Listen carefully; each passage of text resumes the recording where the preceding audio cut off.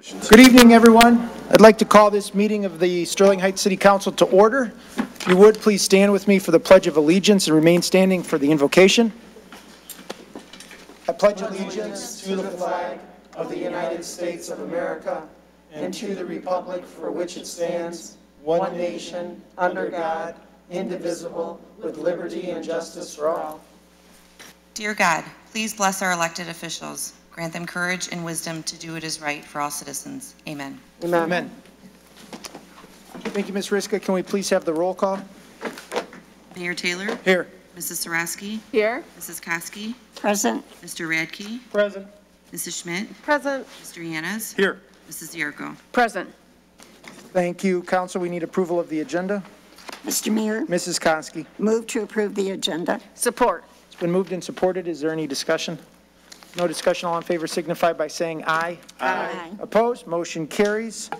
Uh, Our next item, our first item is a report from our city manager, but before I get there, we do have a few extra people here today, um, likely because of the uh, ceremony we're going to have.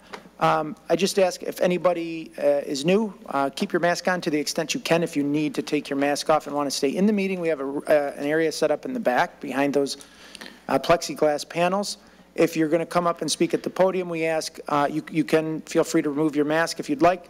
We ask you to uh, wipe the microphone down and the podium. There are uh, wipes there for you uh, before and/or after you speak. Um, And we appreciate uh, your willingness to help and cooperate in that. So with that, Mr. Vanderpool. Thank you very much, Mayor.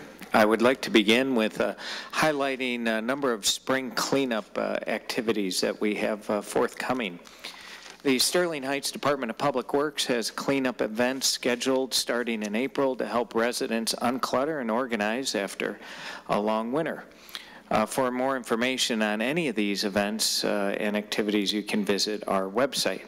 So the first one up is Shred Day on April 10th. That will be at our DPW facility from uh, 9 a.m. until 2 p.m., and residents can bring documents for no charge.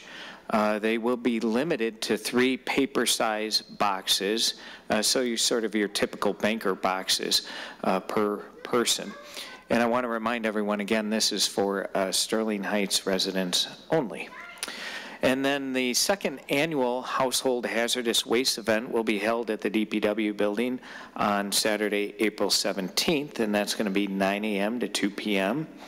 And ERG Environmental will be collecting, identifying, and packaging for transport acceptable hou- household hazardous waste materials. So uh, it's kind of the obvious items that you typically can't set out for regular refuse.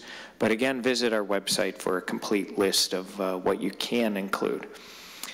And then uh, Great Lakes Electronics will be at DPW facility again on Saturday, April 24th, same time, 9 a.m. to 2 p.m. to accept electronics for recycling.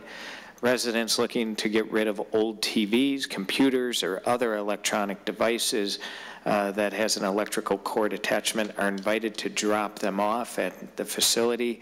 Uh, All these events are really popular, so uh, please mark them on your calendar. And then also, we're going to have our uh, regular cleanup Saturday events, and they'll be uh, May 8th and the 15th from 9 a.m. to 2 p.m. And what that means is you can just bring items uh, that you normally don't set out for refuse, like furniture, lumber, tires, dirt, tree stumps, and, and the like, to the facility, the DPW facility that is, and uh, dump them in the dumpsters that we'll have available. Again, that's May 8th and May 15th. Uh, So a good way to uh, clean up the stuff that you've been putting off and a convenient way to uh, dispose of all of it. And speaking of uh, cleanup and sus- sustainability and greening Sterling Heights, the Department of Public Works will discount its tree program in the month of May to encourage residents to purchase trees for the fall 2021 tree planting. So a list of tree choices for planting in the public right-of-way will be available uh, in May for $255 per tree, which is a $50 discount uh, from the regular price of $305. So Uh, Trees purchased, as I mentioned, uh, will be planted uh, the following fall, or this fall, I should say, after the first frost, so likely near the end of October or early November. Uh, So that too is a very popular program. We encourage you to uh, get your tree purchased for the right-of-way. And also, speaking of trees, the city has once again been designated a tree city, as we have been for decades now, and the ceremony will take place, a tree planting ceremony, uh, before the next city council meeting on April 20th. And I also wanted to provide an update on the Sears vaccination site. Many of you know that the facility uh, opened last week, and so far it has been a great success. I wanted to uh, uh, commend all of our stakeholders that have been involved in making this a reality. We've been working on this project for months, and it's really nice to see it come to uh, fruition. Uh, There's been a number of uh, uh, legal documents and and agreements and so on that our city attorney and his team had to negotiate and finalize in short order. I want to thank the mayor and the city council for their support of this really unique option and uh, doing all they could from their vantage point to get this approved and opened up in short order. And also all the departmental um, uh, representatives that have been involved in this, uh, most notably the fire department, who's worked really hard in, in getting the site uh, stood up and operational. And it's working seamlessly. I checked with the fire chief today. We're uh, vaccinating about 300 people a day. Uh, We expect to go up to 1,000 in short order, and we even can exceed that. So uh, the objective is to get as many people in Sterling Heights vaccinated as quickly as possible. And that doesn't include the site across the street, the senior center. We're vaccinating a few hundred people there now almost every day. So uh, we're doing our part in Sterling Heights, and, and we're super proud of uh, that effort. And as I mentioned at the last meeting, uh, To our knowledge, we are the very first city in the state to be approved by the Michigan Department of Health and Human Services to actually receive vaccines and and administer them through our uh, fully certified and highly trained and talented paramedics. So we're super proud of uh, that factoid. Also, I wanted to um, uh, advise the city council that a number of resolutions have been suggested by uh, commission members, residents, and council members involving the following topics. Uh, First, there is proposed state legislation that may prohibit uh, the city from, uh, cities across the state from providing postage on return uh, absentee ballots. Uh, This may be contrary to prior action the city council's taken, and thus would, may require a resolution opposing the legislation. I'm going to forward that uh, proposed legislation to city council, and uh, we'll prepare a resolution for your April 20th meeting unless there's any objection from city council. Also, an ethnic uh, community committee member, Willie uh, DeChavez, is requesting that the city council adopt a resolution to condemn hate crimes and derogatory hateful acts against Asian Americans. Uh, This is certainly in concert with uh, what, what we are working toward to avoid and, and, and, and uh, fostering unity in the community and inclusiveness and diversity and equity and so on. So this, this really is um, a worthy um, objective by uh, the Ethnic Advisory Committee, and, and we really uh, should uh, support their efforts. So unless there's any opposition, we'll prepare that resolution as well for April 20th. And, and lastly, the Armenian National Committee of Michigan is requesting on behalf of the Armenian community in Sterling Heights and other communities as well to join its commemoration of the Armenian genocide uh, by issuing a resolution in an effort to educate others about the tragic loss of life, land, and human rights of the Armenian people. So uh, without objection, we'll uh, draft that resolution for City Council's consideration as well, and, and you would see all three of those at the April 20th meeting. As I mentioned, the resolutions are in the spirit of the city's overall diversity, equity, and inclus- inclusivity objectives, not to mention the overarching goal of fostering an ever-welcoming uh, community. And lastly, I wanted to uh, draw everyone's attention to the mural that's on the screens uh, before you. And I wanted to highlight this. It's on uh, the City Council's consent agenda for approval and is part of our uh, really uh, highly successful public art program.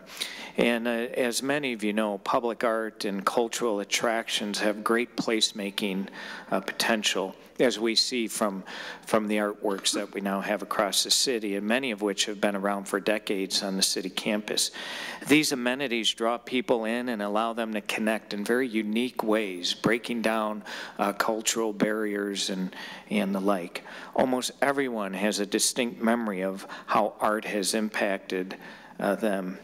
Beyond simple aesthetics, well-conceived public art can also be very playful. And that's one reason I wanted to highlight this mural. Uh, this mural, it's called uh, Trailblazer, uh, has what will be the very first augmented reality component, not only in our city, but really in uh, southeastern Michigan, uh, outside of Detroit, that is. There, there is one augmented reality uh, mural that we're aware of in the city of Detroit, but we're not aware of any of them in the suburbs. So we're super excited about this. So what is an augmented reality component? You're asking, I'm sure.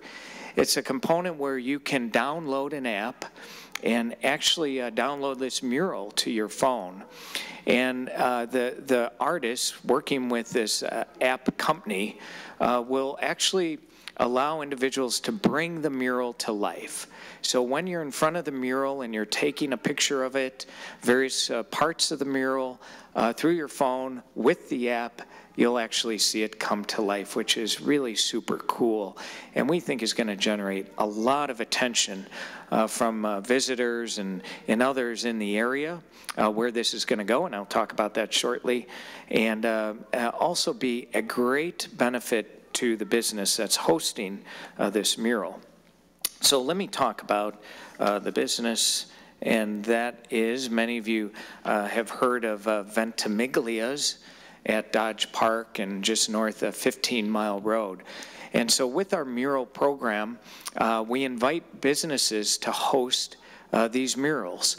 And the benefit to the business is uh, it, it becomes a focal point and uh, individuals, residents, visitors, and the like will come and look at the mural and more than likely uh, partake in whatever business activity it is, whether it's retail, restaurant, uh, uh could be a, a, pub or, or the like.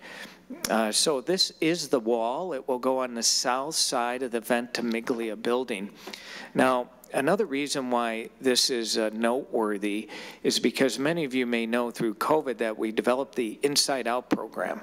Uh, so businesses can move their operations outside where it's safer. And for restaurants, this makes a lot of sense.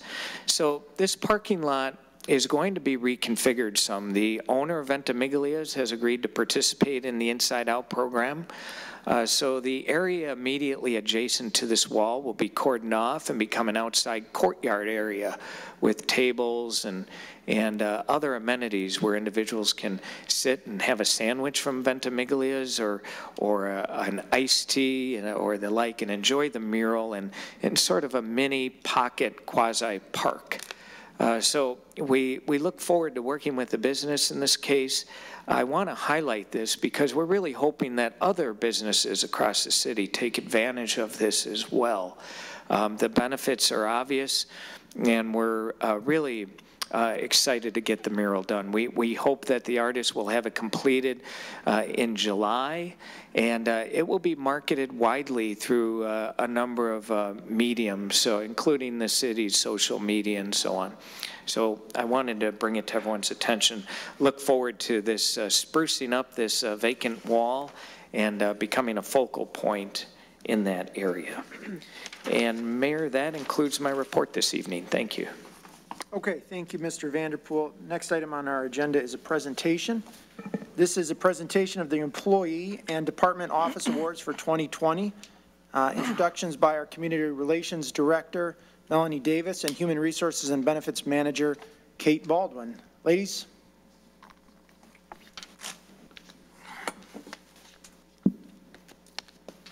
Good evening, Mayor Taylor, Honorable City Council, Mr. Kaszubski, and Mr. Vanderpool. We're excited to host our Employee Awards ceremony before you all. As you know, in recent years, we have celebrated and recognized our many noteworthy staff and their numerous accomplishments with a much larger employee audience. And we really miss being able to have everyone in attendance to honor their distinguished colleagues. However, we are still very thrilled to be here tonight to announce and celebrate employees receiving the 2020 Employee Recognition Awards. So we sincerely thank you for this opportunity. On the itinerary for the Employee Recognition Ceremony, we will first feature the Years of Service Awards. We'll then transition into departmental awards, where we will invite department directors and leaders to announce and present the honorees. We'll announce the Part-Time Employee of the Year, Outstanding Performance of the Year, Administrator of the Year, and Office slash Department of the Year. After all awards are presented and photos are taken with the honorees department director, we'll invite City Council to come down from the stage and stand for a group shot with all of the honorees. With me tonight is Melanie Davis, our Community Relations Director, who will be helping MC tonight's ceremony. Thank you, Kate. First up, let's dive into the Years of Service Awards. Please draw your attention to your respective screens as we announce the recipients of this year's Years of Service Awards. Receiving 10-year service awards this year are Police Officer Lucas Fisher, Board of Zoning Appeals David Graff, Crossing Guard Tammy Harchuk, Police Officer Stephen Thompson, Police Officer Neil Wanafried, and Library Page Cynthia Zink.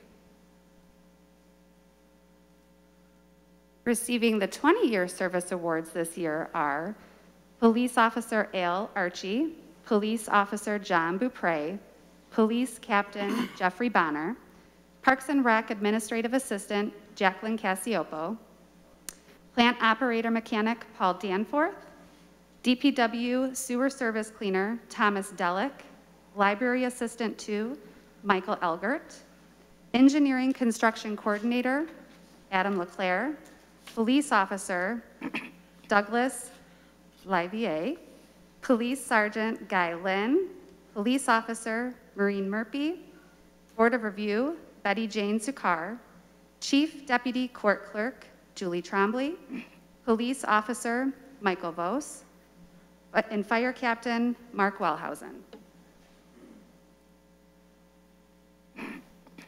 Receiving 25-year service awards this year are Fire Marshal Sean Allen, Fire Battalion Chief Tim Bade, Crossing Guard Florence Bell, Fire Battalion Chief Mark Doherty, Fire Captain Jeffrey Duncan, Police Lieutenant David Guerra, Police Officer Eric Job, Police Administrative Secretary Virginia Konachek, Police Officer Michael Kunith, Police Officer Tricia Latour, Fire Inspector Michael Solomon, Police Officer Darren Steele, Police Officer Todd Trozak, Crossing Guard Raymond Washburn, and Fire Lieutenant Charles Wassel.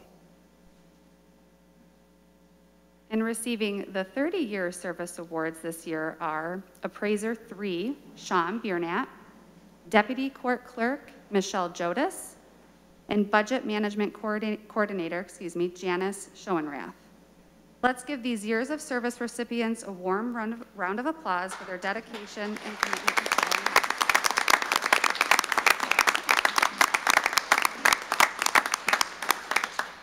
Thank you. Now we move on to the departmental awards. For the first departmental award, we invite Tammy Turgeon, our Public Library Director, to come and announce the recipient of the 2020 Sterling Heights Public Library Departmental Award.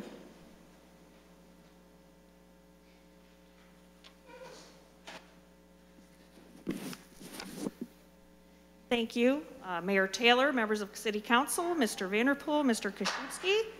I'm here tonight to present the award uh, for the Library 2020 Library Employee of the Year to Jason Groth.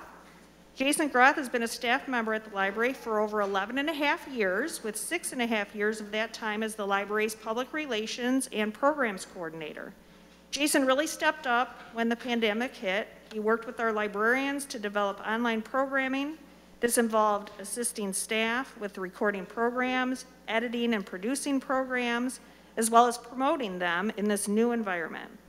When we were able to have limited in-person services, he organized outdoor programs as well as curbside craft programs. Jason made sure that our staff and the city's residents were kept informed regarding the library's services through Facebook, the city magazine, and curbside delivery flyers. He also assisted me whenever asked. Jason is a true professional with regard to his interactions with the public, both in person and online. He is flexible and quick to pivot to meet the needs of a situation.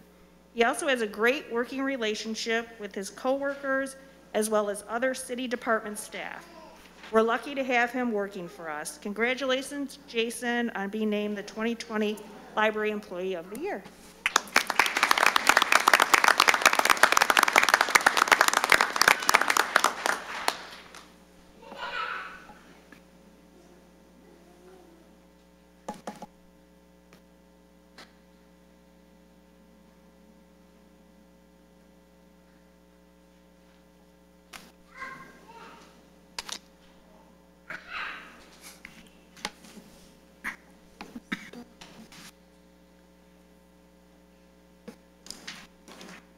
Now we'd like to invite Michael Moore, our Department of Public Works Director, to announce the recipients of the DPW's Departmental Awards for 2020.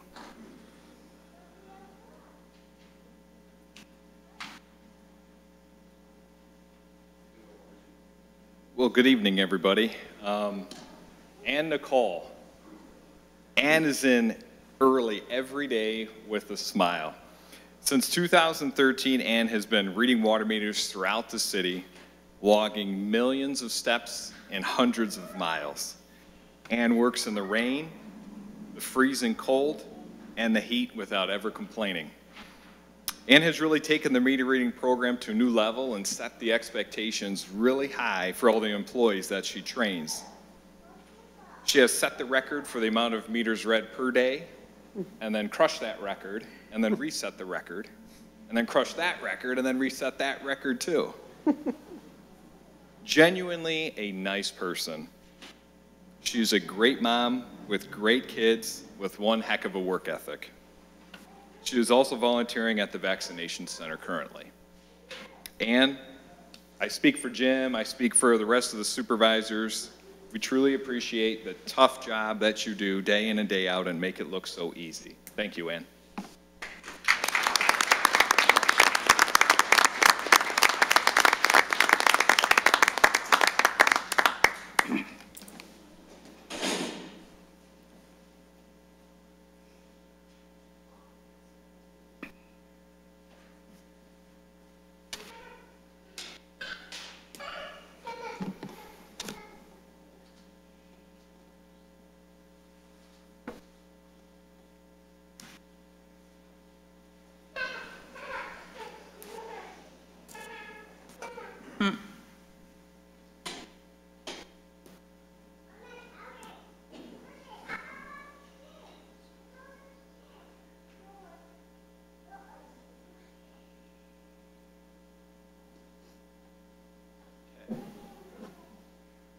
Technical difficulty. Sorry about that. Okay. Paul Danforth. Wow. Paul, where do I begin? My goodness. I'm not even sure really where to begin, to be quite honest, not even trying to be funny, being, being very frank. Paul Danforth, DPW Full-Time Employee of the Year. As with previous, well, that's not Paul. As with previous DPW Employees of the Year, mm-hmm. Paul is the model employee. For 20 years, Paul has been an extremely reliable source for our department to lean on. And that's what we've done. We've leaned on Paul's knowledge, his experience, and level headedness probably more than he knows and more than he realizes. We call Paul on his day off. We call Paul during training. And we even called Paul during his family trip to Disney. and you know what? He answered the phone every time, and he still does. He's happy to help without hesitation, even if he's standing in line at Disney with his kids. I think that says a lot about a person. Paul's a leader in his division, the sewer division. He's also a leader in the DPW, so much in fact that he's been the steward for five years there. Anytime I arrive on a job site, Paul can be found doing the toughest, most complicated or dirtiest job. True? It's true. He has a career of teaching others how to perform their job and how to accomplish it safer and more efficient. Very admirable. Paul, our entire team appreciates you as a person and everything you've done not only for the community, but also to help all of us out throughout, throughout the years. Jokingly, I think one day, Paul, we're going to twist your arm enough so that you do apply for a supervisor position. We'll see. Hey, but seriously, Paul, thank you honestly and for simply just being a good guy. I mean that. And thanks for being a great colleague to work with throughout my entire career. Paul Danforth.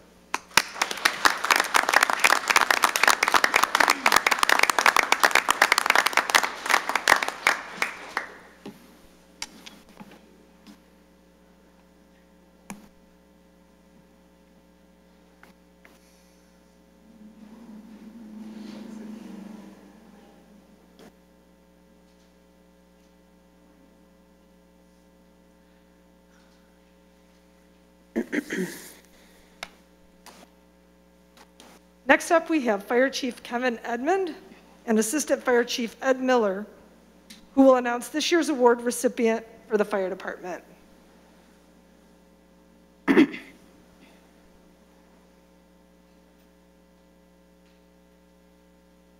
evening, Mayor and members of council, city manager. I'd like to introduce Michael Amarino. Um, I've known Mike for a short time now. His collaborative nature is constantly on display in his role as a fire captain and as a union leader, and it's made my transition as fire chief easier. Mike's leadership ability constantly comes through in every meeting and every task he's given. His leadership in the department is greatly appreciated. At this point in time, I'd like to uh, have uh, Assistant Chief Miller say some words.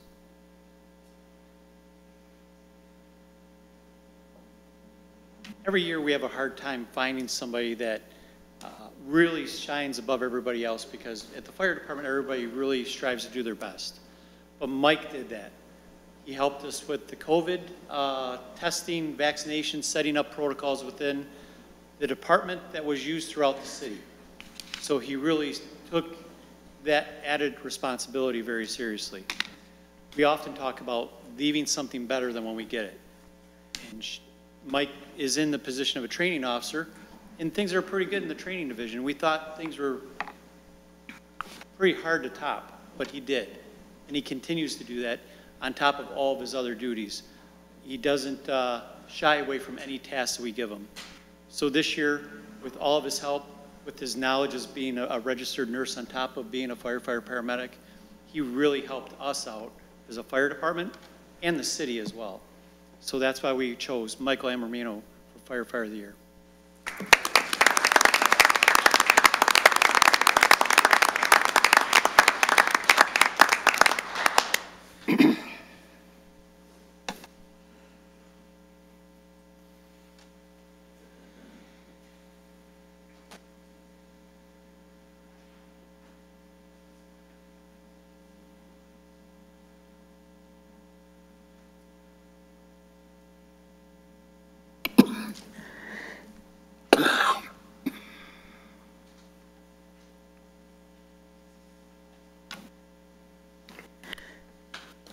You, chiefs. Next up is Police Chief Dale Dwojakowski to announce the recipients of the awards for the police department in 2020.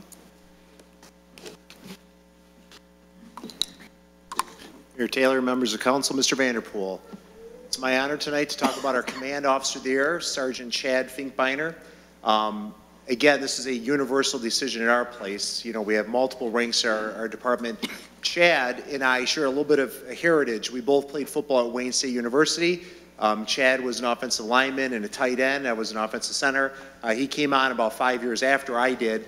Uh, but I believe, and I know it's for, for me, myself personally, the uh, career of athletics and playing at the, co- the college level is exactly what Chad brings to the job every single day. At the shift level, he's on the road right now, um, and he works our midnight shift, and these young officers look up to him. And he's a dad, he's a mentor, he's a coach. He does all those things that those young guys love. And when there's a really messy scene that is crazy, people need to go to jail, um, evidence needs to be collected. When Chad shows up, everyone is relieved. Um, there's, there's coaching, there's pats on the back. He makes sure everything is buttoned up. He did a long time in our detective bureau, so he knows the job after the arrest is made, what needs to happen at the court level. So Chad is, eh, we're so excited to have him back on the road. A lot of times you get so specialized in what you do in a bureau, but then for him to come back out with all of this knowledge on the road in that midnight shift that we have, almost all officers with less than five years on the job. So to have someone like this, a senior veteran officer, fantastic, and Chad is one of the nicest humans um, you'll ever meet, kind person, and couldn't ask anything more. And with that, I believe we have a video from Chad, who's down in Florida, by the way. Appreciate the invitation to come to the meeting today. Um, unfortunately, unfortunately, I'm out of town, uh, vacation. Um, it's an honor to be here. Um, it's an honor to receive this award, um, especially this year during uh, COVID. It was a hard year for uh, to be a citizen, but it was a difficult year to be a police officer with everything going on in society and with uh, with COVID. So this award means means a lot to me. Um, in order to win an award like this, um, you have to be nominated by somebody, so I'm very grateful to, have been nominated and for the board to have picked me. Uh, I work with a lot of great officers and uh, work for a great community, so an award like this means, uh, means a lot to me, where I can take it home and uh, show my children that uh, this hard year being a police officer uh, was worth it. Um, so I appreciate it. I appreciate Mr. Vanderpool, Mayor Taylor, and City Council for, for this invitation and all your support that you give all of us officers. Thank you.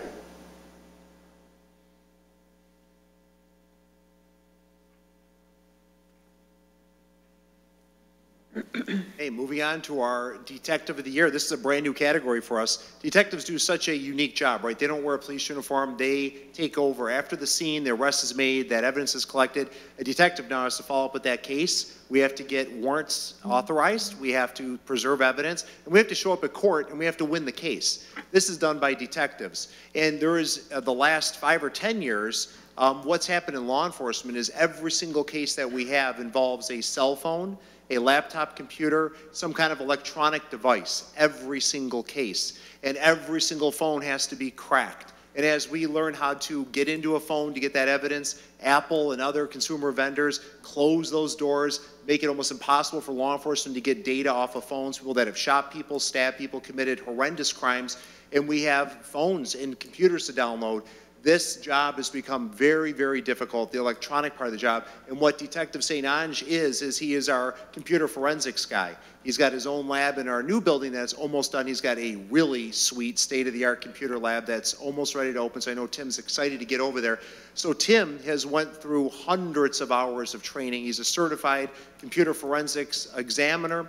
He has servers and download devices and different encryption, uh, uh, decryption devices. He's got phones plugged in all the way down the side of his wall. He has to go to the county for some of their tool sets. Um, we've, we've had some homicides in the past where Tim had to work on multiple phones going through thousands of GPS locations and download data, working with our federal partners, state partners, other detectives. These cases get so complicated, thousands of pages of returns, digital data returns, and someone has to translate the digital into what does that mean? Is this guy guilty or not? This is what Tim does. He's in his office often late at, late at night um, and he does an unbelievable job. Unbelievable with the computers. And on a side note, the, Tim's a great dad.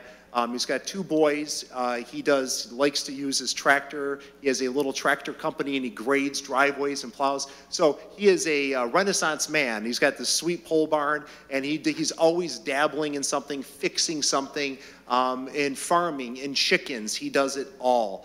Uh, so with that, it's my honor to um, nominate or uh, announce Detective of the Year, Detective Timothy St. Ange. Tim?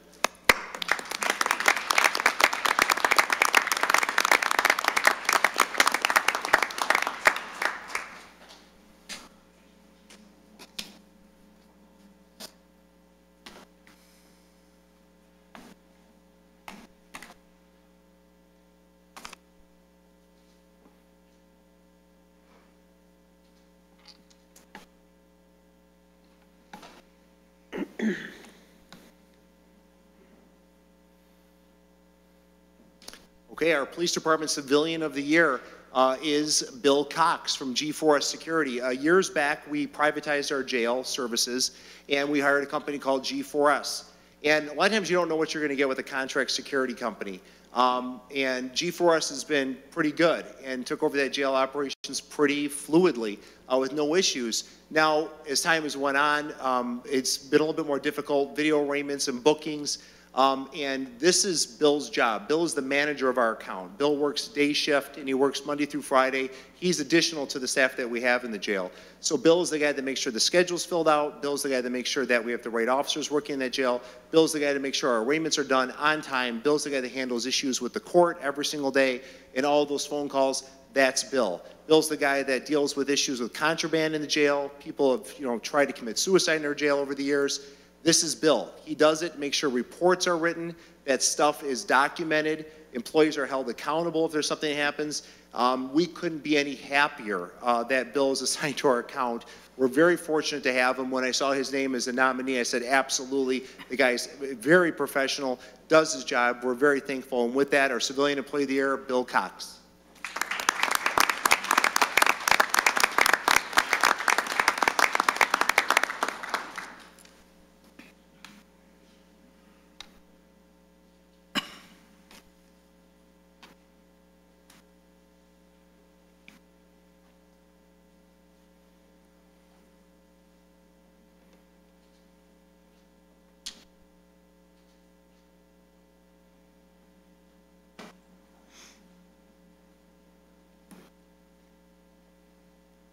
Last up for our departmental awards, we invite Judge Anne Marie Lepore from the 41A District Court to come and announce the recipients of the 41A District Court Departmental Awards. Hello, everyone. Mayor Taylor, members of City Council, Mr. Vanderpool, Mr. Kaszubski. It's a pleasure to be here with this evening with you all. First up, for the Court Part-Time Employee of the Year is Kim Komarzik. Kim started back in the summer of 2019. Unfortunately, Kim could not be here today, but she works in the Civil Division of the court. She's a fantastic employee. She's a very diligent worker, especially over the past year with the civil division being shut down. You can imagine the amount of paperwork that she has to go through. And she has stepped up to the challenge at every turn. She's a wonderful person to work with. So, um, are you giving the award? Does she already have it? Okay. So, round of applause for Kim.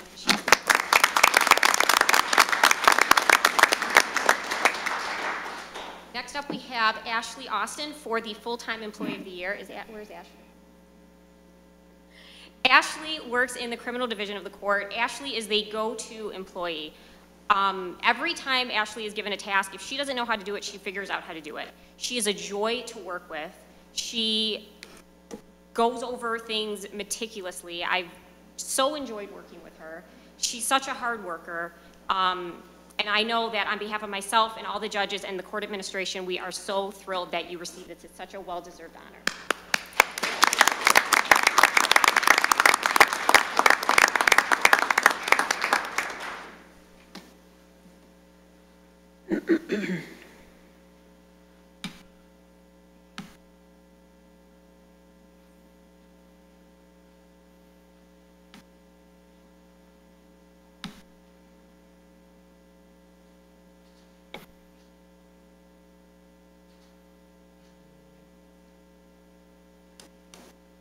Thank you, Judge Lepore, and thank you to all of our department directors for being here to present your awards tonight. One more congratulations to all of our departmental award recipients this evening.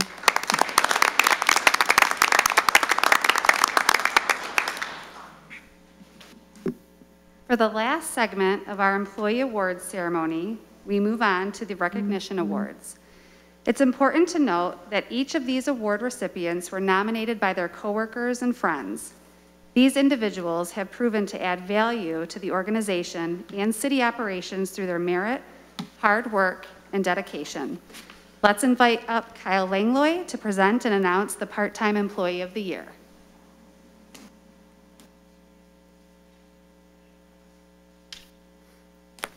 Thank you, Kate. Good evening, Mayor Taylor, members of council, and all gathered here this evening. Um, It's no secret that the Parks and Recreation Department employs well over 100 part-time employees annually, filling critical support roles to serve the residents of our city. While all are instrumental to our operation, we are fortunate to have many that go way above and beyond, which is exactly what makes this year's Part-Time Employee of the Year, Julie Sarcona, so special. While she has only been with us for just over a year, she started when we opened this great building, she has always recognized the need to be flexible and has voluntarily stepped up on various occasions to help out. Major contributions have included creating a photography from home video at the start of the pandemic, helping to train and work with ice rink staff on new procedures related to registration software, stepping up to be part of the Parks and Recreation Department's initiative to staff two election precincts last November, and playing a major role in providing lists of residents desiring a COVID vaccination to the fire department and the county. For all of this and so much more, we are proud to have Julie on our team and grateful that she was recognized as this year's very deserving part-time employee of the year.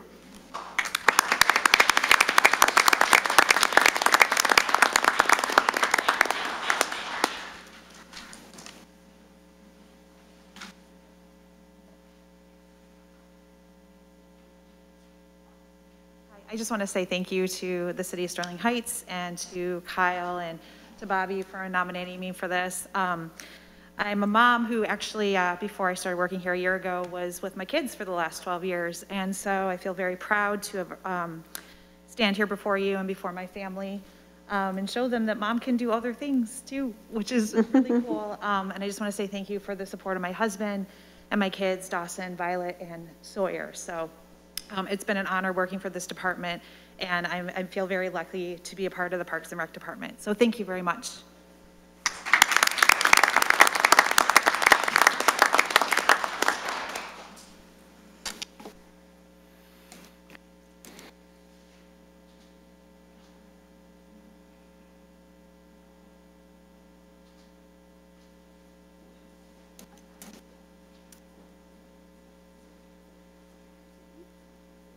Okay, and next up, Melanie Riska will present and announce the award recipient for Outstanding Performance of the Year.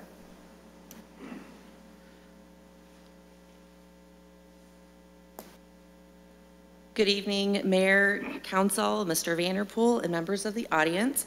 I'm here this evening to present the Outstanding Performance of the Year Award. I want to start by giving my incredible team in the clerk's office honorary mention. Um, Carol Francis, Andrea Barra, Valerie England, and Jordan Scott, and all the temporary team members went through extraordinary measures um, to ensure that the historic 2020 presidential election was conducted with the utmost professionalism and dedication to the voters of Sterling Heights. I'm extremely proud of their perseverance and achievements in the face of a pandemic while serving hundreds of voters daily. But one team member stood out above the rest, and that is Judy McHale, our clerk coordinator. Judy came to the city in February of 2018, and she loved the city so much that she and her husband Bob recently relocated to Sterling Heights in um, early 2020.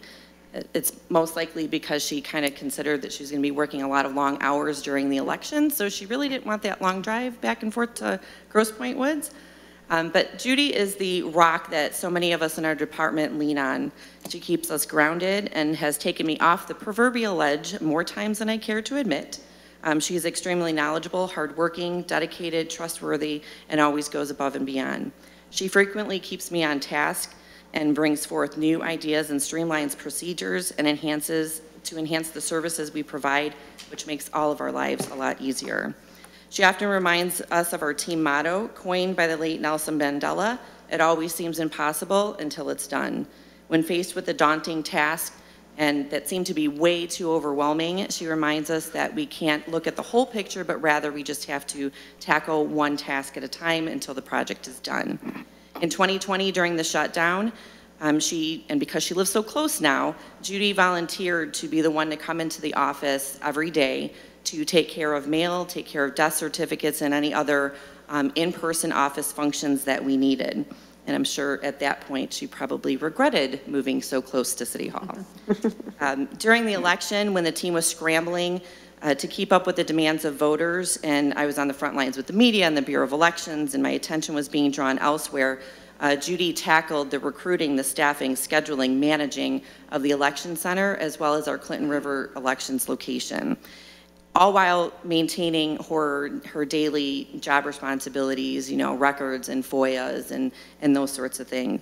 Um, so she handled her really heavy workload with impressive poise, and um, she never complained. So she consistently asked me about my vision for the department, and does, it doesn't matter how crazy or outlandish or how radical it seems to be, she figures out a way to just get that list of tasks and just get stuff done. Um, so she's an inspiration to the other members of our department. Um, she's very level-headed, and she's the go-to part person that we've all come to depend on.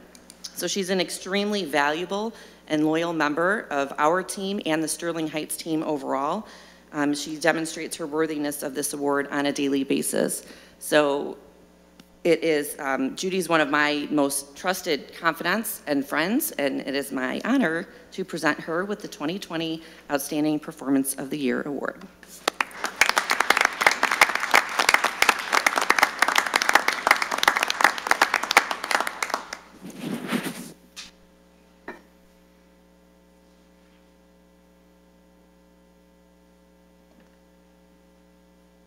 I just want to say um, thank you to all of you and to Melanie. It's been a pleasure uh, the last three years working here. Um, my husband and I love Sterling Heights. Um, he just said the other day he's so happy that we made the move here. And uh, it's been a wonderful experience working here as well, wonderful people to work with. And um, thank you very much.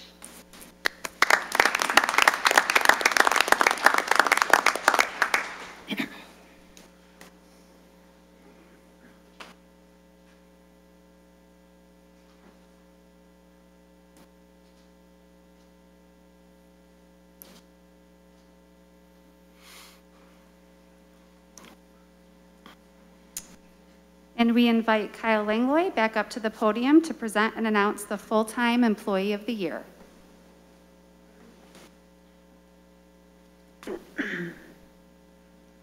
Thank you again, Kate, and uh, good evening again, Mayor Taylor, members of council, and everybody here.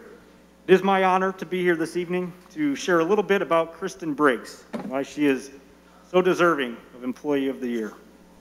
First, her unwavering care for her job, her coworkers, and the residents that call Sterling Heights home. Kristen is selfless, thoughtful, dedicated, and goes the extra mile to make people feel special and important. It is also not uncommon for Kristen to be at work after hours and on weekends, sacrificing her personal life for the benefit of our community.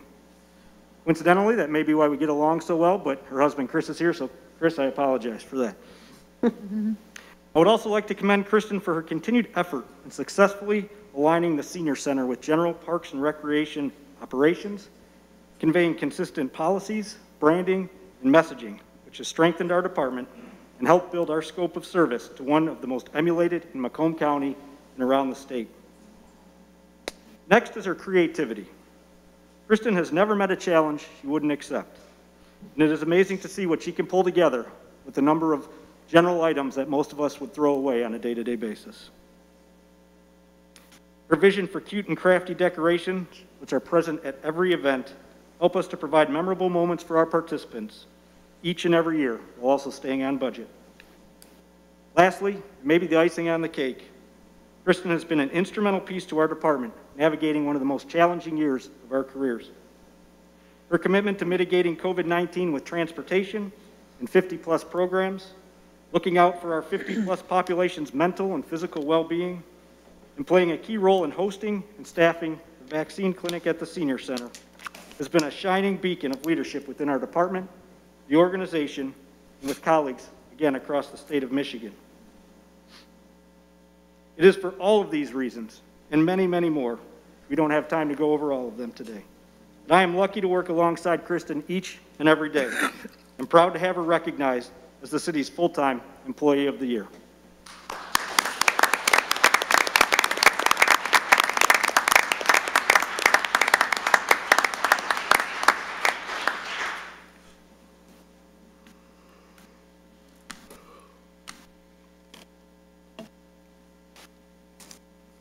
I just want to say thank you very much um, for my wonderful team for nominating me um, and for being picked for this wonderful honor. Um, I really couldn't do it without them. They never waver at my crazy ideas that I come up with, and when I am less than shining, they always pull me through. So I appreciate them because I couldn't be here without them. I also couldn't be out here without my family, especially my husband. Like Kyle said, there's been many a nights that he's had to cook dinner and be dad and mom. So thank you. Thank you very much. I'm honored.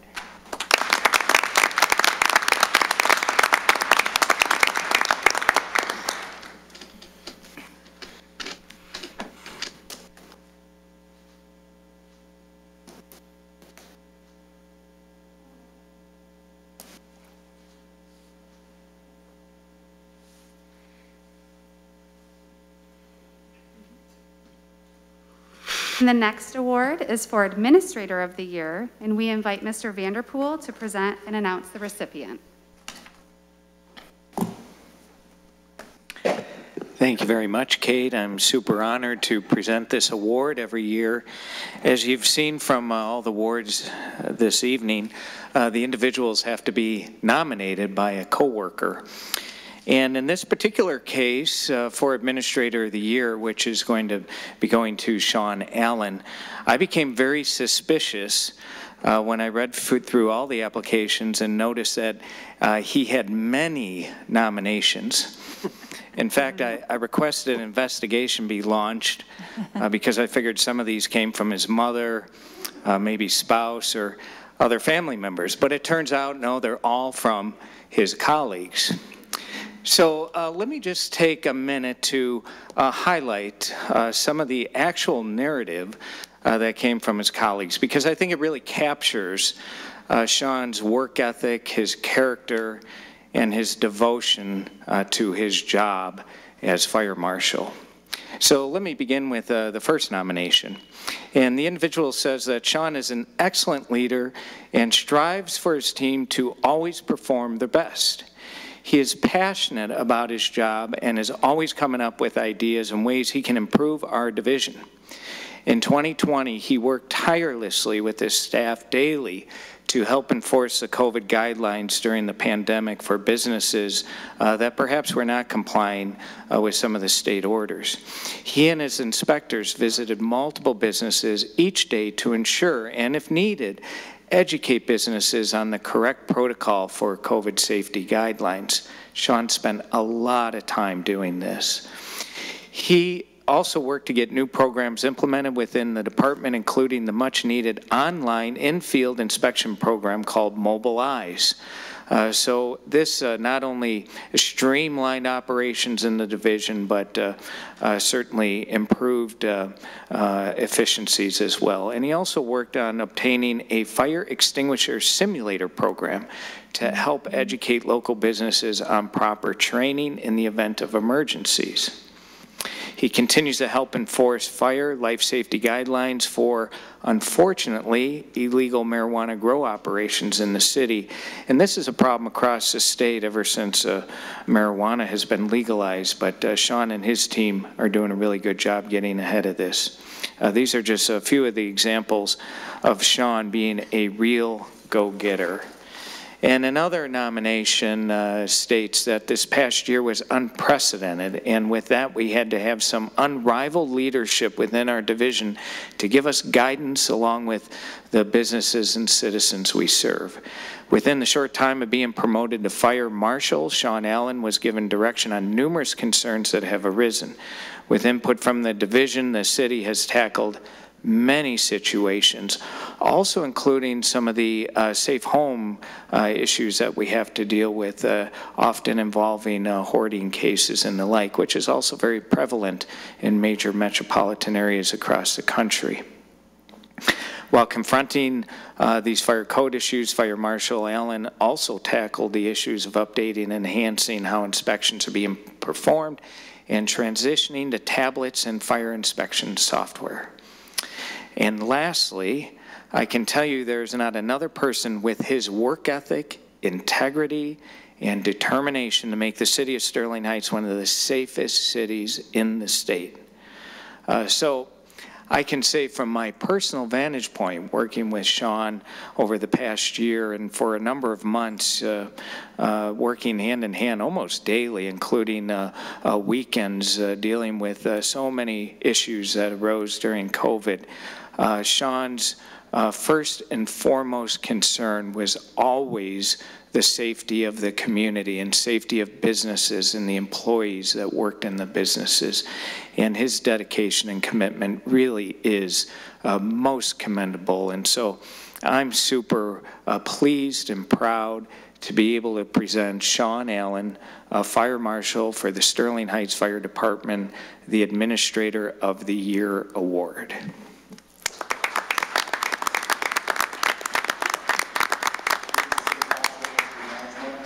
and all the city employees. I wish I was able to be there in person, but I am enjoying a very long overdue vacation with my family. I'd like to thank everyone for the recognition, but I have to accept this award for the Fire Prevention Division. Every day, the men and women of the Fire Prevention Division give more than I could ever expect, and because of their hard work, they make the city much safer. I'd also like to thank the men and women of the Fire Suppression Division. There are eyes and ears out there, and because of their hard work, we are able to address the problems that they find. I'd like to thank the men and women of the Police Department, especially the Special Investigations Bureau and the Detective Bureau, that with, along with the special task forces that they work with fire prevention. Because of their hard work for the past year, we've made the city much safer. I'd like to thank the Building Department, Code Enforcement, and City Legal. Thank you for all your hard work for the past year. I especially like to thank my wife and children.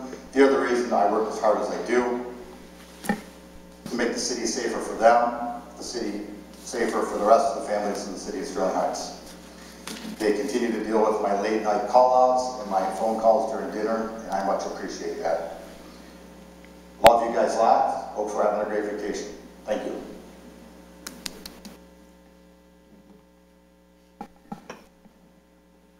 And to cap off this year's Employee Awards ceremony, Mr. Vanderpool will also be announcing the 2020 Office slash Department of the Year. It's always really difficult to come up uh, with an individual department or office uh, to recognize every year, and uh, certainly this has been no exception. I'm pleased to present the final award recognizing the Department of the Year. On March 16th, 2020, the city, along with the rest of the world, began a year-long journey filled with action and events no one could have ever imagined on March 15th. The city of Sterling Heights rose to the occasion and never looked back. I want to take a couple of minutes to highlight just a sampling of the unbelievable accomplishments over the past year. First, as I mentioned, the city of Sterling Heights uh, was the first city in the county to declare an emergency due to the COVID pandemic on Thursday, March 13th, 2020. The city developed a comprehensive reopening plan shortly thereafter to provide in-person services after the stay-at-home order was lifted. We're one of the first city halls in the region to reopen because of this plan and make sure that the good work of local government could continue during this crisis. The city had regular meetings with federal, state, and county officials to coordinate COVID-19 prevention measures. And I'm so glad to see Senator uh, Michael McDonald here tonight. Uh, he's an example of a legislator that we had to work with oftentimes when uh, residents uh, could not get unemployment claims processed quickly enough through the state. And Senator McDonald and his team were a big help. The city developed a comprehensive website which has served as a clearinghouse for information for residents and businesses throughout the crisis. Numerous community-wide mask up PSAs ran throughout the city, school districts, Chaldean Community Foundation, and, and other organizations. Direct mail mask up information was sent to areas of the city with high COVID-19 concentrations, and we were able to identify some of those concentrations, believe it or not, by testing sewage samples across the city at six uh, major uh, collection points uh, which actually proved to be very valuable data for the city and, and the county. We worked with hundreds of businesses to ensure they were in compliance with the state orders, as I mentioned earlier. We developed the Inside Out program to keep businesses and patrons safe while also uh, allowing businesses to continue operating. We secured ample uh, personal protection equipment for our employees and also the community at large by way of 250,000 masks that were donated by Ford Motor Company and FCA in the city of Sterling Heights. We collaborated with healthcare leaders regularly. We monitored data daily. We moved the city council meetings to a more safe location right here so that we could continue to meet in person and again conduct the very important business of, of local government. We developed a volunteer corps to assist seniors. 150 employees were provided state-of-the-art equipment to work remotely from home on a rotating schedule. We monitored all 27 senior living facilities and helped ensure they received not only uh, COVID testing uh, regular, but actually vaccines as well most recently. We coordinated and hosted numerous community-wide testing events. The mayor and city council have made direct appeals to the community emphasizing the precautions that had to be followed throughout the crisis by businesses and residents to remain safe. The city health clinic located in City Hall, staffed with a fully certified doctor, nurse, and related support personnel, provided health services to city personnel, included COVID testing throughout the crisis. And in addition to uh, all the challenges and, and endless activities, there were some silver linings that came out of the, the dark clouds. We developed the at home city service program so residents didn't have to leave their home to conduct city business. They could do it right from their family room or kitchen uh, through their internet connections. We conducted inspections virtually uh, that so that homes would not be held up for sale and that home additions and new construction and so on could continue without delay. The city, in conjunction with the county, helped distribute over $6 million to businesses to ensure they could remain open and operating in a safe manner. The city provided financial relief to residents that were not able to pay their water bills due to financial hardship, and we're continuing hardship relief efforts. Best of all, the city became the first city in the state, without a certified health department that is, to receive approval to receive and administer vaccines. We celebrated the opening of the city's drive-through vaccination center just last week.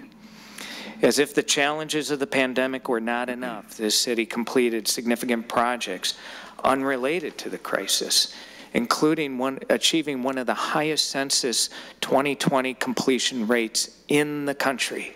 There is one, only one other city in the country in our population category that edged us out, and that was Centennial, Colorado. But we'll take second place, and what an amazing accomplishment. In the midst of a crisis, completing major renovations to the city campus facilities, including the court, the library, the police station, city hall, not to mention conducting and, or constructing a new a Department of Public Works building. All this was ongoing and coordinated during the COVID crisis.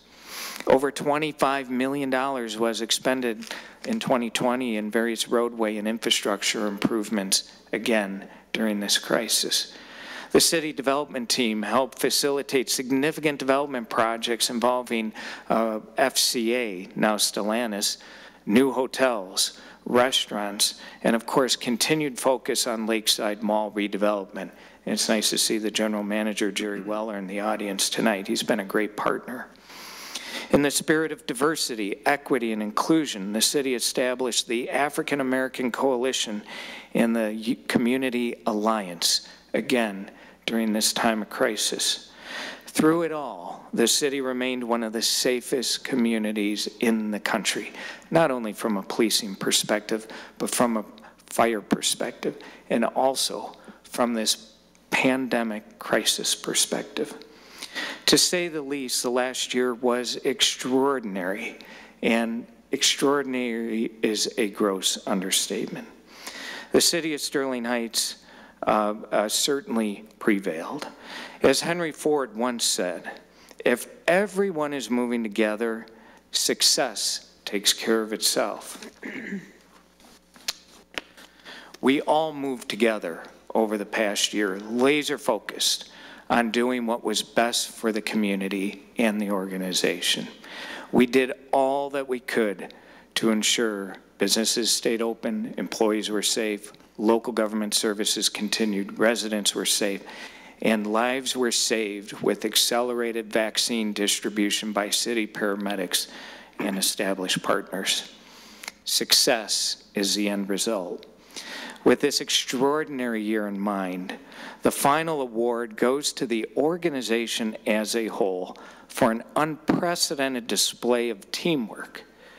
The collage on the screen before you represents every employee in the organization, part-time, full-time, the mayor and city council, all directors, managers, and the like.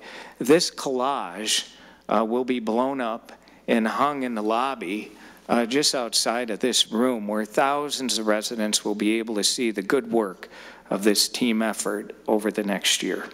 So please join me in standing for a round of applause to salute this championship team. Thank you.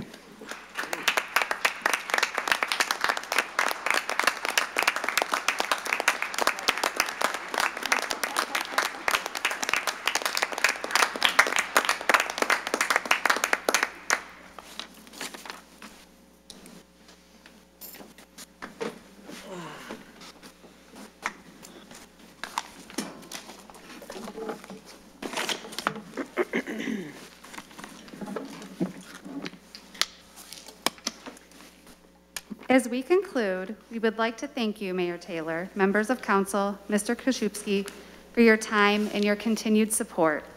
I would also like to thank the Community Relations team each and every year for making this event a success and a lot of fun.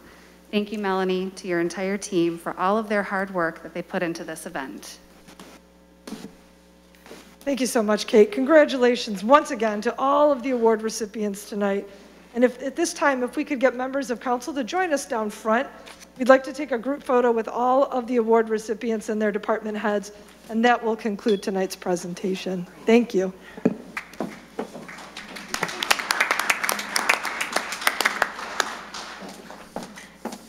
Forgot the election. Forgot the election. Oh, yeah.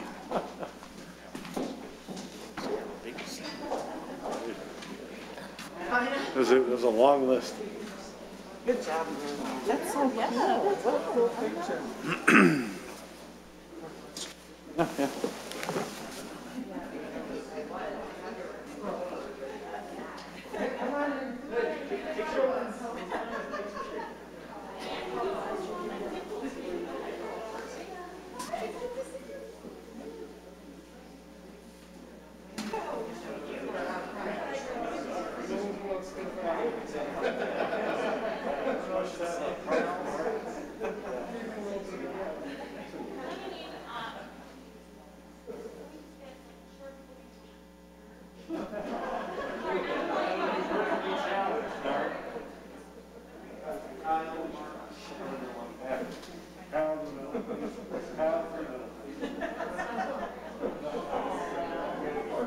Yeah. Okay, um,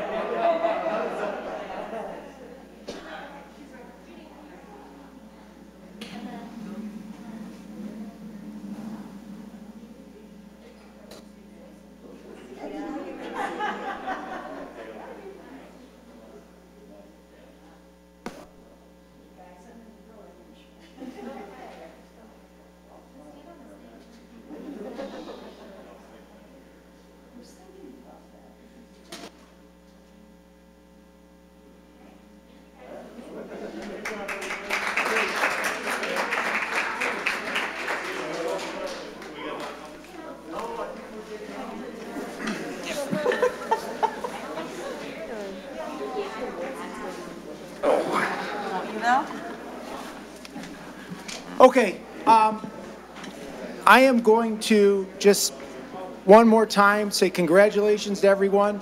We'll take about a five to 10 minute recess to let people clear out. So we'll stand in recess for five or 10 minutes. Congratulations to everyone. That's a great idea.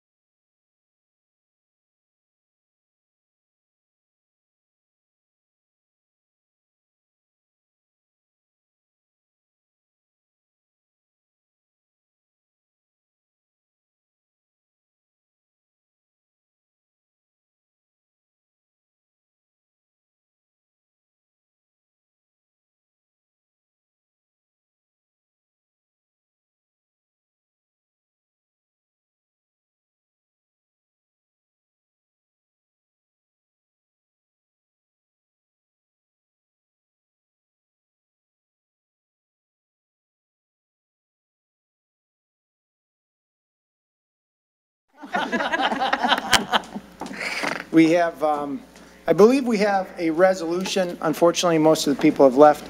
Uh, But we do have a suggested action here, and that is uh, to congratulate the employees. Is there anyone who'd like to take that for us? Mr. Mayor, Mr. Yanez. a result to congratulate, let me try this again. Resolve to congratulate and thank all the employees recognized for years of service and awarded for outstanding performance in 2020. Support. It's been moved and supported. Council, any discussion? If not, uh, I'll just very briefly echo those comments um, that Mr. Vanderpool laid it out pretty well, so there's not much more I can say. But uh, we really do appreciate, I know on behalf of the entire city council and the 130-some thousand residents who live in the city of Sterling Heights, all of the sacrifices that were made by our employees this year, they really did a fantastic job. It was under um, really unprecedented circumstances that nobody could have thought of. And I want to thank all of our residents as well for uh, your patience and uh, your understanding with our staff as we went through changes that you could have never expected. I know every single resident of our city was faced with the same challenge in their own personal lives.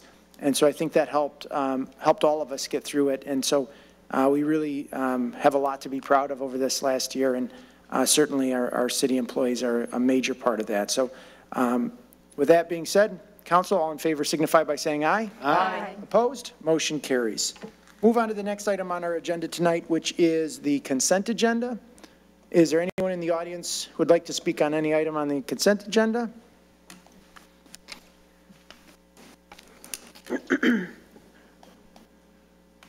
Mayor, Council, Mr. Vanderpool.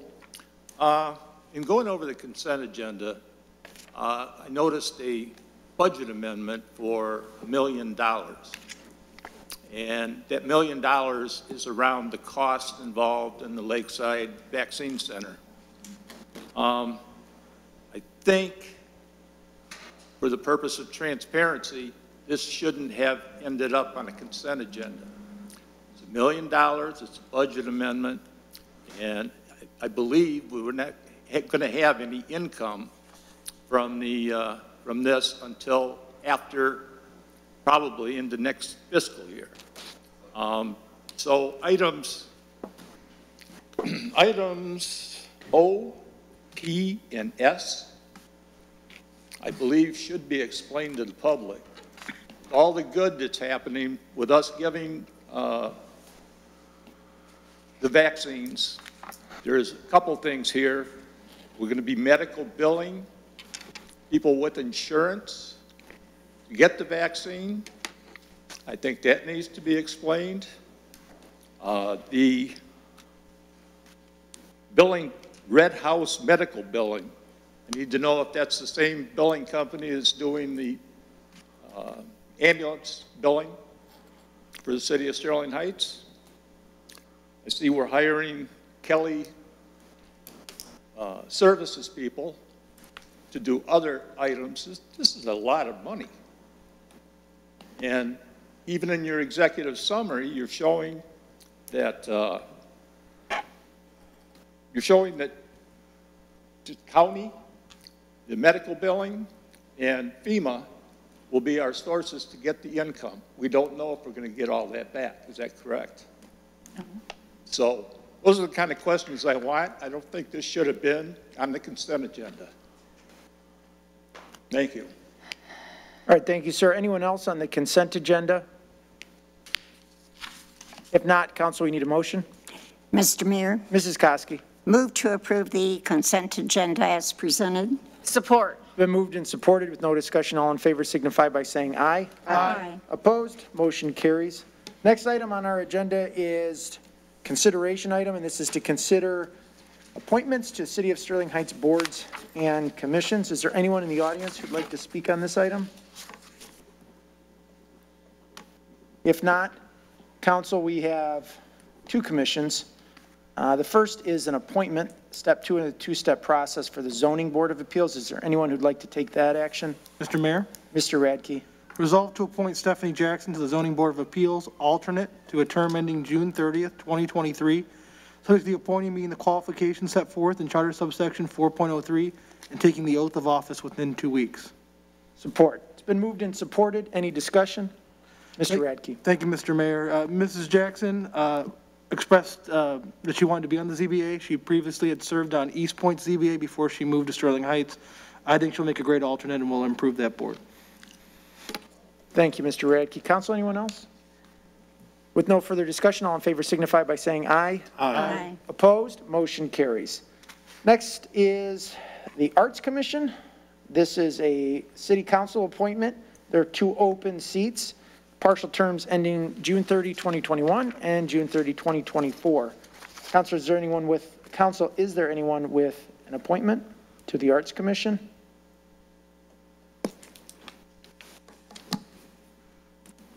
Once, twice, okay. Mr. Mayor, Mrs. Koski. bear with me here so I can find the motion.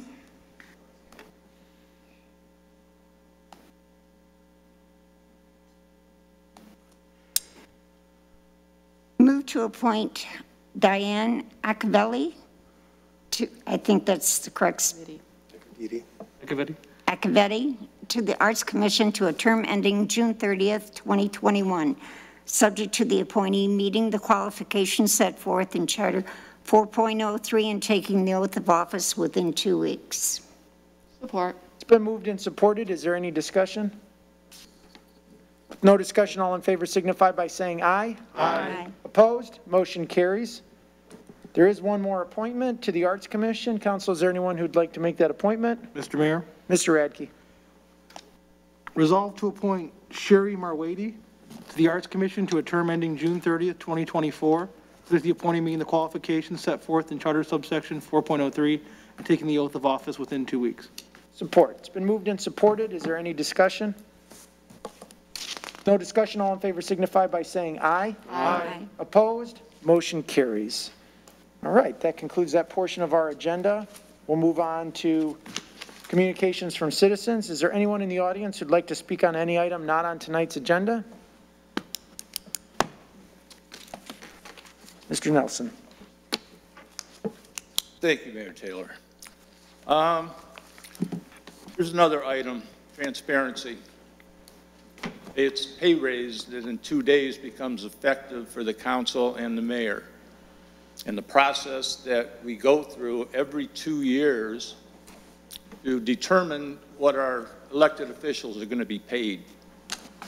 Um, I take it because there were no actions that you are not going to reject the certificate of determination, and you're going to accept the fact that these positions, the city council positions, are going to increase in January by over 60%, and the mayor's is going to go up 75%. Now, in reading the minutes, the unapproved minutes of the election, uh, elected officials compensation commission, uh, which, by the way, I have to thank Melanie for uh, putting out the unofficial. Only way that this happens, they have their meeting two years later. They approve their minutes, and that's when they were getting on the, on the website. Um, May all think that you do work in order to do that, but even looking at the first meeting, it was comparisons to other communities. We compare ourselves, we compare city manager's pay, we compare council's pay, we compare mayor's pay to other cities. Sterling Heights has never been other cities. We have a job to do, and that's how we should look at what you're paid. Um, This was an equity. And what did they use? They used Southfield. Okay, Southfield, they meet every week. They have workshops on off weeks from their city council meetings. The time that they're putting in. I quote from the first meeting, the February 24th meeting of the commission, that Mayor Taylor works 30 to 35 hours a week on this job. If you're working that kind of hours, then you're pulling some of the duties from the city manager. I'm sorry. I was in this position. on council. So do the right thing. This is too much. 75%, 60% is way too much. If you would have taken half of that, I would understand, but not the full amount. So you have two days left out of the 30 to reject, have your resolution to reject the certificate of determination.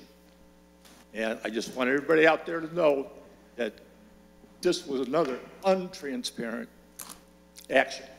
Okay? Thank you very much. Anyone else under communications from citizens?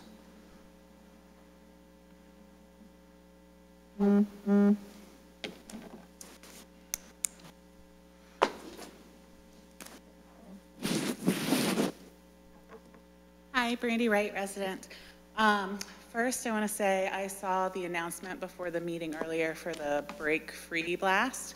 Um, And my family and I are very excited to finally get out there and do some things in the community in person, so I appreciate that.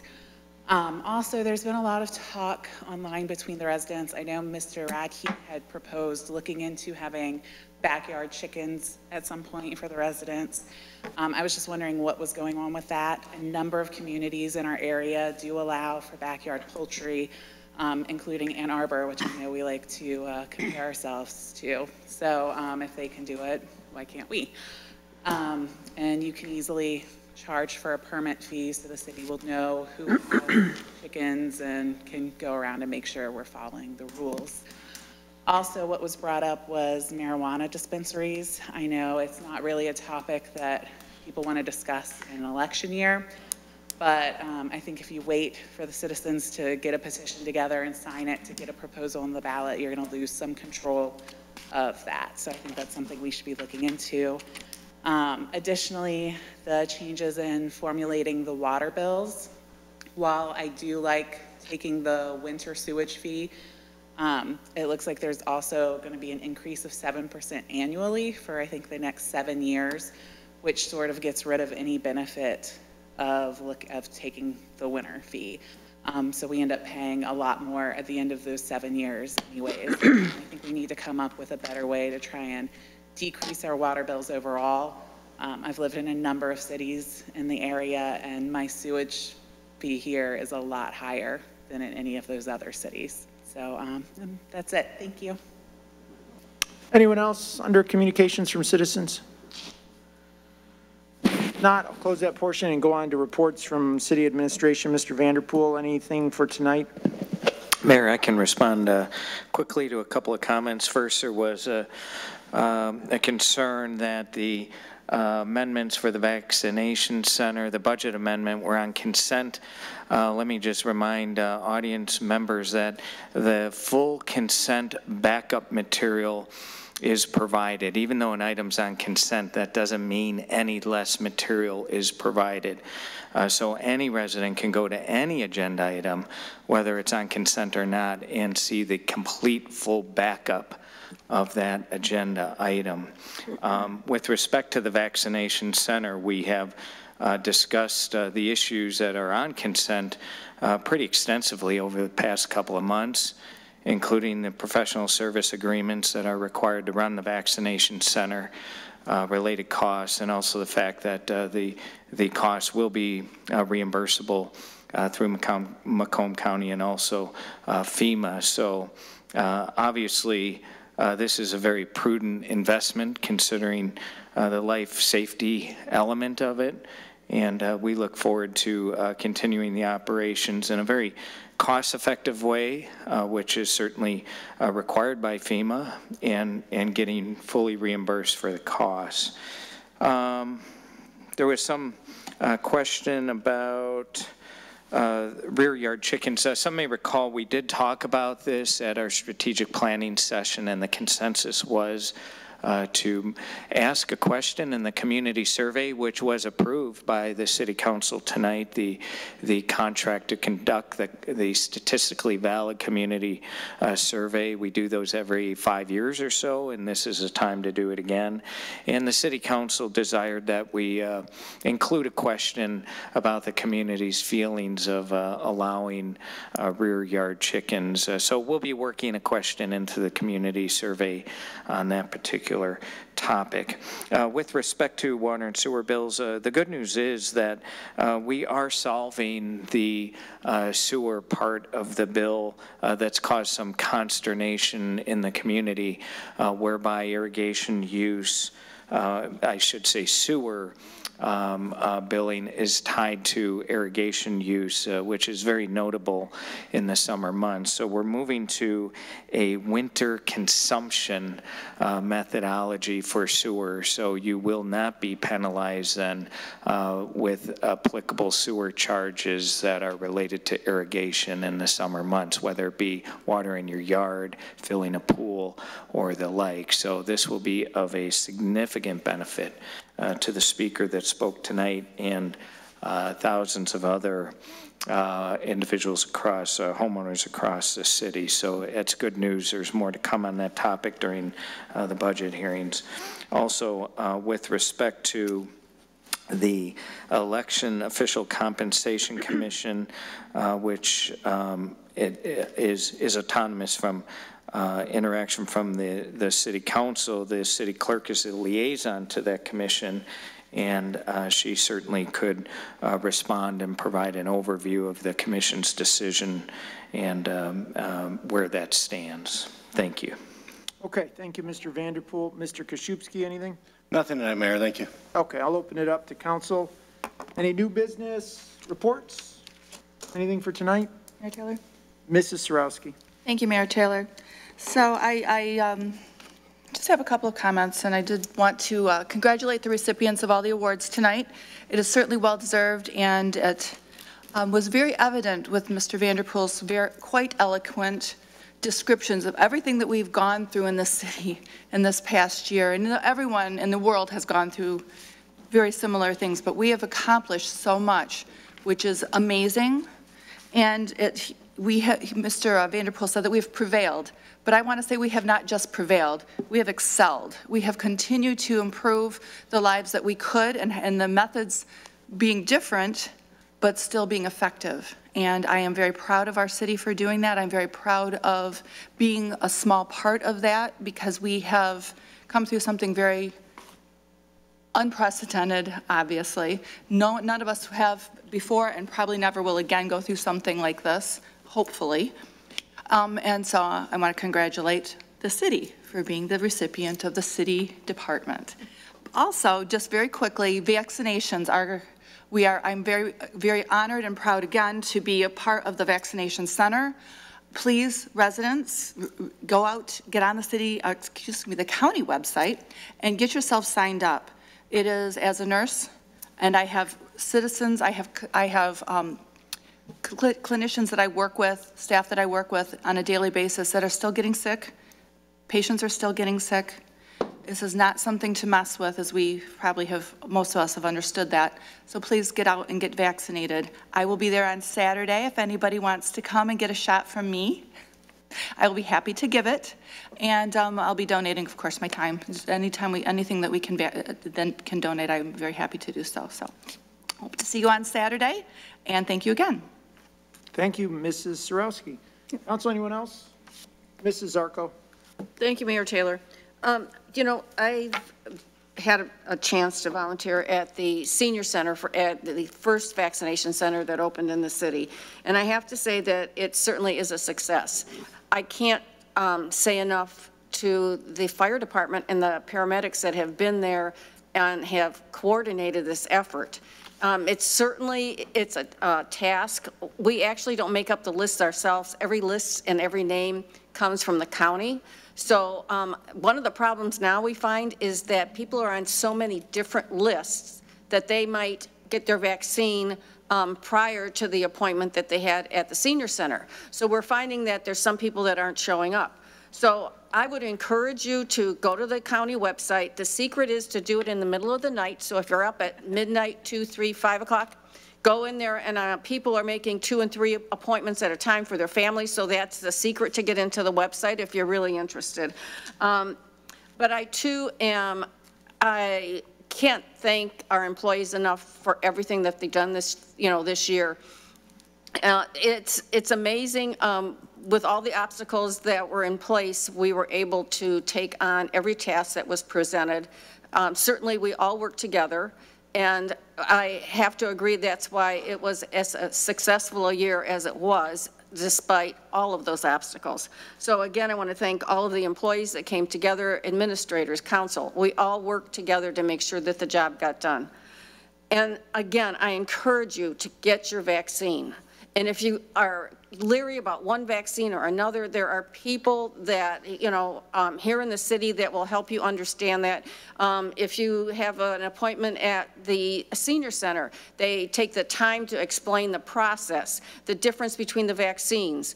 And um, it, it's an educational project or, or, or process, and but don't delay um, because the sooner that we all get vaccinated, everything we talked about doing this summer and into December um, can be accomplished. So I think that um, it's a goal that we need to reach um, is to get as many people vaccinated as possible. So please, please, make your appointment, get your vaccination. Try, if it's not the county that you want to go through, go through the, uh, the, um, the, the, CVS or the Walgreens, or, but do it. Um, call your doctor's office if you need more information on vaccines, but get the vaccine. It's that important. Nothing further. Thank you, Mrs. Ziarko. Mr. Radtke. I have to echo my comments, colleagues. Vaccination is the key to getting life back to normal. We rolled out a, se- a series of activities earlier today at a press conference called uh, Breakout Blast, you know, uh, for the summer, because I know that my family is, is kind of sick of being in our house. I think everyone in Sterling Heights is too. But the key is case rates to go down and us being able to at least get out in the outdoors and assemble. And right now, if you're looking at the, the indicators that we receive as city council people, they're not good. Henry Ford Macomb is at 99% capacity for ICU for COVID. It's going to get worse a little bit here before it gets better, but the key to it getting better is getting vaccinated. I know the entire city council, we've done everything in our power to bring vaccines to you, but you have to sign up. You have to go and get the vaccine. Don't just do it for you. Do it for your family. Do it for your neighbors. You know, I lost three neighbors to COVID uh, on my block. You know, and it's, I think about that all the time, and we have to do better so that our neighbors and everyone else will make it through because while I'm young and healthy, my dad isn't, and my, my neighbors aren't, and other people aren't, and that's why we're getting vaccinated, not, not for me, but for them. So I urge everyone to, uh, to get vaccinated. It's the only way we're going to beat this and uh, hopefully come out the other side. Uh, it's, it's the number one thing. That's all I have, Mr. Mayor. Mrs. Schmidt. Thank you, Mayor Taylor. Um, just to continue on this subject, um, I have to say that um, uh, Mr. Radtke referred to Henry Ford Macomb. Uh, Troy Beaumont, uh, the Beaumont system is, their numbers are exploding. My daughter is a patient care tech at Ascension Macomb. They now have redesignated um, regular med, med surg floors to COVID-only floors. Um, this is reverting back to how it was in November, December, January.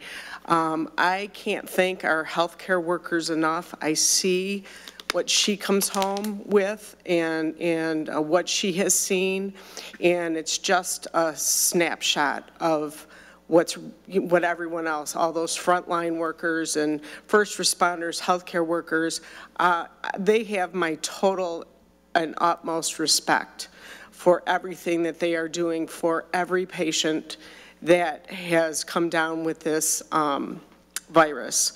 And I, uh, from the bottom of my heart, um, beg you to please, please consider getting the vaccine. I know there's a lot of, you know, skeptical, you know, um, opinions out there. I respect that you have a different opinion than me, but let's just keep everyone healthy and safe. That's all, that's all I want. That's my Christmas list. And um, the more people that we get vaccinated, the more that will come true. So I implore you, as my colleagues have said, please, we are making it available. Please, please, please do whatever you can to get your, your vaccine and your family vaccinated as well.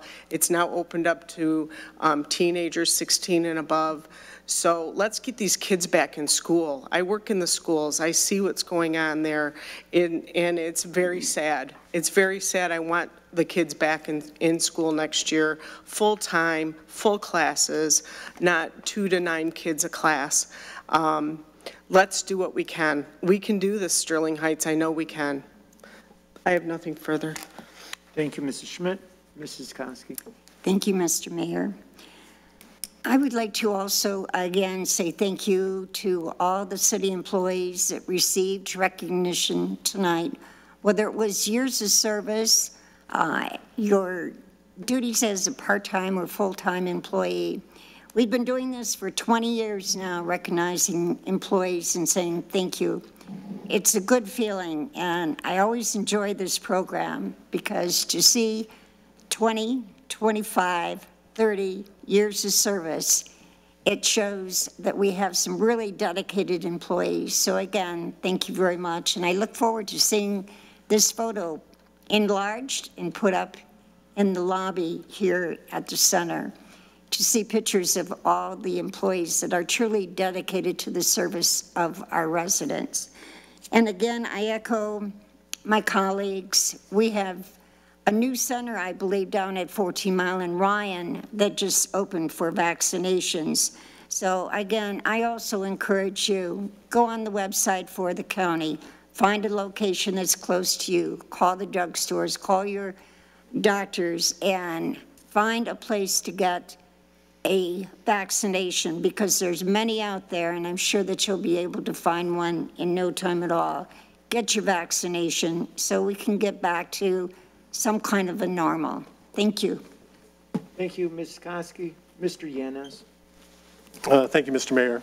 Um, I do want to say uh, congratulations to every city employee um, who won an award tonight. I noticed that uh, some of the people I got hired with uh, got a 25-year recognition, so um, um, this 25 years ago, I got hired with the city, and um, Mrs. Koski's absolutely right. I mean, people are dedicated here. And we saw the dedication, not just from the uh, employees that won awards, but from every single employee that worked here uh, under incredibly difficult circumstances, um, not only in, in their, their professional life here for the city of Sterling Heights, but in their personal lives as well. And so I want to thank each and every single employee, volunteer, uh, everybody who's connected with City of Sterling Heights uh, for keeping the city uh, up and running. And they did a fantastic job, and the um, award is well deserved. Um, I also uh, got a message from the city manager today about the street sweepers are out, and I'd like to, through the chair, ask uh, the city manager, do we have a, um, sort of like the snow plows, do we know where the sweepers are going, going to go? Do they have a route? Mr. Vanderpool. Thank you, Mayor. Councilman Yanez, yes, we, we do have a route, uh, but it's tough to give specific dates or times when they're going to be by a home. Uh, but I can look into with the Public Works Director, you know, perhaps uh, promoting uh, within a day or two, you know, sort of uh, when the street sweeper might be in a given area. Uh, there might be a way to better promote that. Um, and, and what's most difficult too, although it's easier now during COVID and many people still working at home, uh, the, the street sweepers come by during the day. So those who are not home uh, often won't see the street sweepers, but they do come by. They cover every area of the community at least four times a year. Yeah, I, I just think it's uh, important for people to be aware that they're out and about and uh, think about parking your car in the, in the driveway instead of on the street until you know the street sweeper has gone by so they can do their job and keep our city clean. And um, that's all I have, Mr. Mayor. Thank you. Okay, thank you, Mr. Yanez, and thank you to the council for the uh, comments. I won't repeat them regarding the vaccine, uh, but I do agree um, it is of utmost importance. Um, just a couple other things. Uh, Mr. Radtke mentioned it. We did have a little event before the city council tonight where we unveiled the summer lineup of events, uh, summer and beyond. what we're branding as the Break Free Blast. And I know a lot of people feel like they've been cooped up for the last year and are looking for the city. Um, I can remember going back to around this, probably around this time last year, or maybe even later when we started announcing cancellations of things, just the, how upsetting it was for me personally, I know for our council and our employees. Um, our entire Sterling Heights community took it uh, as a as a big blow when we had to cancel Sterling Fest, cancel the Music in the Park series, uh, cancel Sterling Frights, cancel go at least go virtual for uh, Sterling Christmas. So I'm really excited that we were able tonight to announce that uh, the the Music in the Park series is coming back this year. That we're going to be able to pair that with our Thursday nights at Dodge Park, where we have uh, patios and pints over at the Upton House, uh, and of course the Dodge Park Farmers Market uh, with food trucks and um, and all that. And so I'm really excited about that coming back this this summer, uh, as well as uh, the cultural exchange, which normally would be in this room we're in right now, uh, but for obvious reasons that couldn't happen this March. So that's going to be moved outdoors. Uh, and uh, it's going to enjoy the warm summer weather under the Farmers Market Pavilion, and we're going to be able to highlight the number of diverse communities that we have here in the city of Sterling Heights. Uh, the Memorial Day Parade uh, is not going to necessarily be a parade, but uh, we are going to have an opportunity to uh, have a ceremony to honor our veterans um, and to honor those particularly who lost their lives defending our country. Um, and so I'll be excited to participate in that again and honor those uh, members of our community. Um, and, and then, of course, uh, Sterling Fest is the big one, uh, which this year is going to be temporarily rebranded Oktoberfest. Um, and possibly will morph into something more permanent. Uh, but Sterling Fest will come back next year, we hope. Uh, but hey, why not have an Oktoberfest too? Um, so we're, we're, we're really excited, and, and I'm just proud of the work that our city administration, our Parks and Recreation Department, our Community Relations Department, particularly, uh, and, and all of our different departments did to bring this back, uh, bring these events back, because I know how many people out there uh, really enjoy, just love being at our parks, love um, enjoying the amenities that we have. And so we're excited to bring them back. And, and although they're going to look a little bit different this year still, um, I think, uh, I know I, for one, will be really excited to get out there and be, be a part of it. So uh, one other thing I want to mention is that uh, one thing, another casualty of the pandemic last year was our budget hearings. Uh, things were really in flux last year at, around this time. We had uh, you know, no idea where our budget was going to end up, um, and, and we took almost all the way till July 1st to pass a budget. This year we're back on our normal schedule. We're going to be having budget hearings a week from today, and I guess three weeks from today. Um, so we are going to be uh, having our budget hearings here, uh, I believe 6 o'clock on uh, the second and fourth Tuesdays of the month, and then we'll pass a budget at the first meeting in May. Um, so I encourage you to uh, come out to our budget hearings if you're curious or interested um, about what's going on with our budget. This is a great opportunity to uh, try to understand it better and have your voice heard. So uh, with that, uh, I don't have anything else except for to say one more time, congratulations, and not just congratulations, but thank you from the bottom of our heart to every one of our uh, over 450 full-time and, and many more part-time employees uh, that made the city of Sterling Heights a great city to live, work, and recreate in uh, during this most unprecedented year. So with that, council, I would entertain a motion to adjourn. So moved. Support. It's been moved and supported. No discussion. All in favor signify by saying aye. Aye. Opposed? Motion carries. This meeting is adjourned. Thank you.